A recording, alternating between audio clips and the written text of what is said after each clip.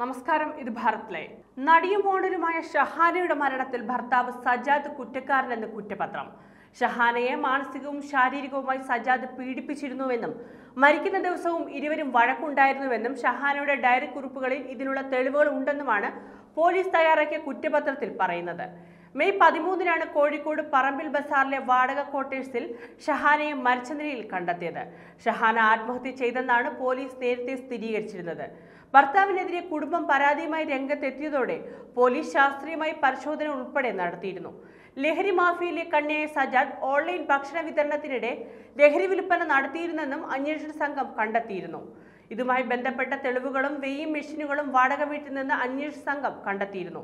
ഇതിന് പിന്നാലെയാണ് സ്ത്രീധന പീഡനം ആത്മഹത്യാ പ്രേരണ എന്നീ കുറ്റങ്ങൾ ചുമത്തി ചെറായു പോലീസ് സജാദിനെ അറസ്റ്റ് ചെയ്തത്. ഒന്നര വർഷം മുമ്പാണ് സജാദ് ഷഹാനെ വിവാഹം കഴിച്ചത്. കോഴിക്കോട് ചെറുകുളം സ്വദേശിയാണ് സജാദ്. ഷഹാനയുടെ വീട് കാസർഗോഡ് ചെറുവത്തൂർ തിബിരിയിലാണ് മരിക്കുന്നതിന് ഒന്നര മാസം മുമ്പാണ് ഷഹാനയും ഭർത്താവും പറമ്പിൽ ബസാറിൽ വീട് വാടകയ്ക്കെടുത്തത്. ഷഹാനയെ സജാദും കുടുംബവും നിരന്തരം പീഡിപ്പിക്കാറുണ്ടായിരുന്നു. ഭക്ഷണം നൽകാതെ പട്ടിണിക്കിടുകയും ചെയ്തിരുന്നു. ചില ദിവസങ്ങളിൽ ഒന്നോ രണ്ടോ ബ്രെഡ് മാത്രമാണ് കഴിക്കാൻ നൽകാറ്.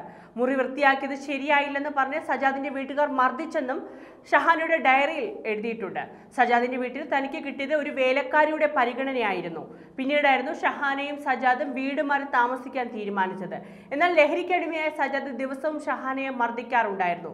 മരണ ദിവസവും ഷഹാനയ്ക്ക് ക്രൂരമായ മർദ്ദനം ഏൽക്കേണ്ടി വന്നു. പോസ്റ്റ്മോർട്ടം റിപ്പോർട്ടിലും ഇക്കാര്യം വളരെ വ്യക്തമായി പറയുന്നുണ്ട്.